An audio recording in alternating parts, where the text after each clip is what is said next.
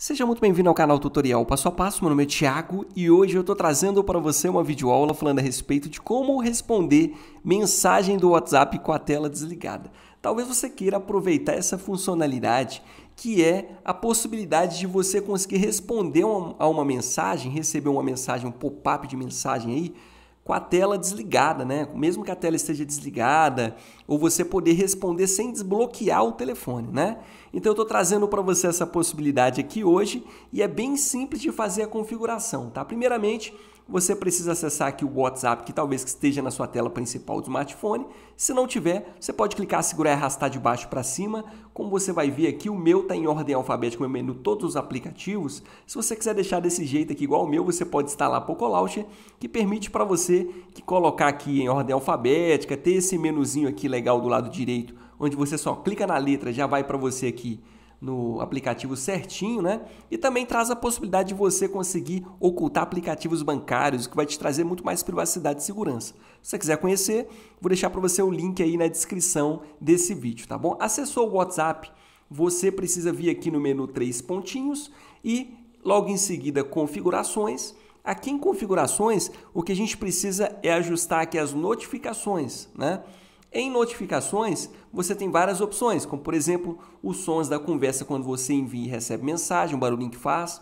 Você tem a opção aqui de ajustar qual que é o, o som que vai sair quando você receber uma mensagem, se você quer vibração ou não, se você quer a vibração padrão ou se você quer uma vibração curta, que eu acho muito mais legal, muito mais tem mais privacidade, né?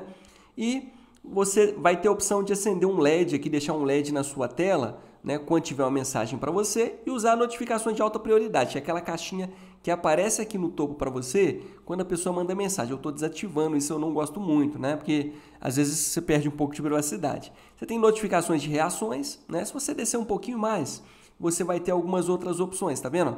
Notificação pop-up, vibração, som de notificações. O que a gente quer aqui no topo ó, é notificação pop-up, tá?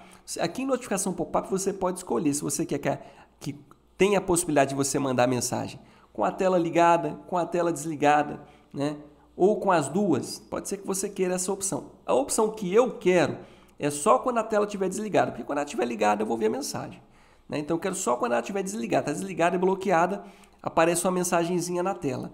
Obviamente, você perde um pouquinho de privacidade. Né? Então aí você tem que pensar se você quer privacidade ou agilidade. Beleza, marcou a caixinha aqui de pop-up, estou marcando só para mensagem, mas você pode marcar também para grupos. Eu acho que para grupo nem é tão legal. Para grupo fica chato, dependendo da quantidade de mensagem que manda, né? E vai gastar muito mais bateria, que a tela fica ligando toda hora, né? Mas você pode marcar também para grupos, tá? Essa opção. Ok, feita a configuração, o que, que a gente precisa fazer? Vou mandar uma mensagem para a gente testar. O meu telefone está aqui do lado, né? Então, mandei a mensagem, ele acende a tela, tá vendo? Tiago Tutoriais mandou mensagem oi. Aí eu posso mandar mensagem, posso gravar um áudio se eu quiser. Por exemplo, ó, vou clicar aqui. Ixi, demorei muito. Aqui, ó. Vou mandar mensagem para você ver. Mandar mensagem de volta. Viu? Chegou aqui, posso gravar um áudio, posso acessar outras mensagens se eu quiser, posso fechar, posso ver Posso mandar aqui um, um emoji se eu quiser também, tá? Então vamos deixar, deixou sair, certo? Vou bloquear de novo o telefone, ó. Tanto bloqueado, o meu com a tela acesa, ele não está mandando. Lembra que eu fiz a configuração só com a tela desligada? Com a tela acesa ele não está mandando. Mas olha só, vou mandar de novo, ó.